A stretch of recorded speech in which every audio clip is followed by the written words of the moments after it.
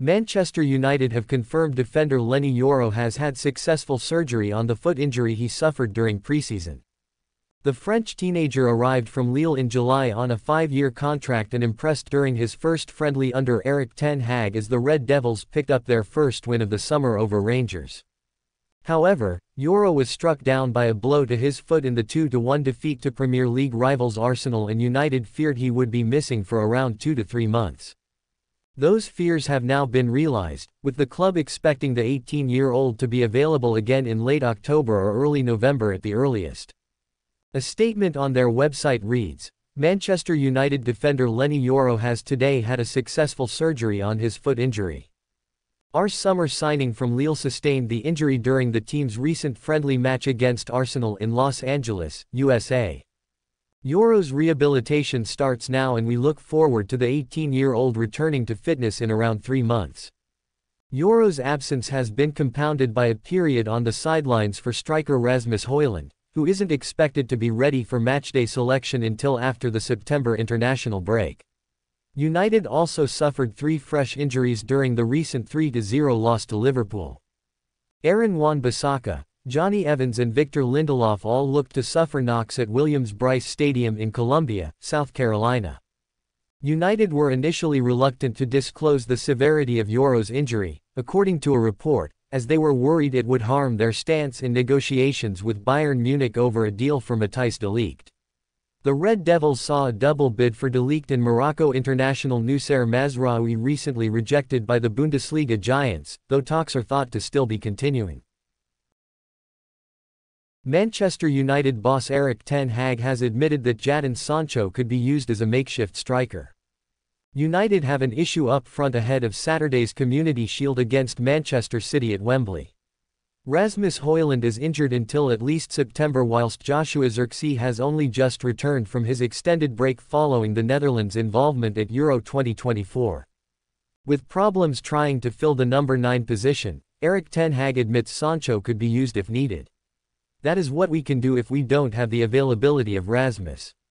Of course, Joshua Zirkzee is coming in, he said. He has started training. But he is not so long in training so it, it will take time and he has to adjust to English football and our way of playing. Jadon can, of course, play as a striker. He can also play in wide areas but it could be that he is a good option. With all that said, men's sport have taken a look below at how United could line up on Saturday with Sancho and if several players back from their holidays are used. Classic 4-3-3.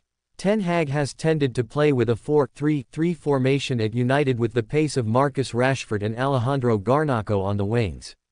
Against City though, it could be a risky tactic, especially if Casemiro is the only holding midfielder.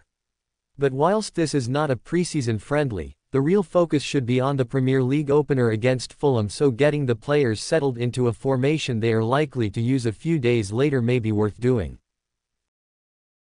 Over the past two weeks, talk surrounding the future of the former Man UTD goalkeeper has ramped up.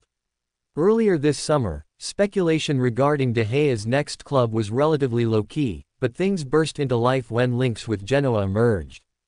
It was initially claimed that the Serie A side had engaged in talks with the Spaniard and that he was open to the move before it was revealed just a day later that the approach was actually made via an intermediary from the player's side. De Gea was essentially offered to Alberto Gilardino's side as a replacement for Interbound Josep Martinez, but Genoa ultimately declined to sign him due to concerns over his age, lack of competitive football over the past 12 months and his suitability to their style of play. The shot stopper has not kicked, or saved, a ball since being released by Man UTD on June 30 last year, but it turns out that he could be on the move to Italy after all this summer.